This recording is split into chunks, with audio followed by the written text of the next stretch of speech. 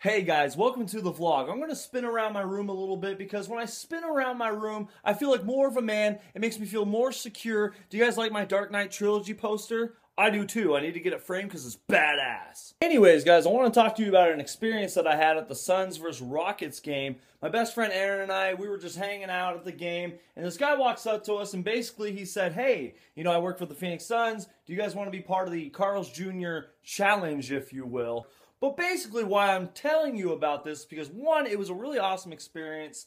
The Suns handled it very well, and I literally got to participate in this Carl's Jr. challenge.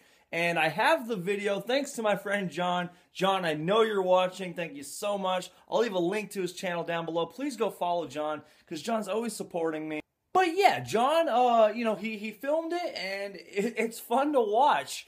Um, I'm not going to spoil anything. Just watch the video. And, um, you know, I honestly just want to say that I'm so excited for really the rest of the Suns season. Uh, I've been doing a great job with my Suns videos. You guys seem to really be enjoying those Suns videos. So yeah, I hope you guys enjoy the Suns videos. I hope you guys enjoyed this video. And thanks so much for watching, guys. I'll see you next time.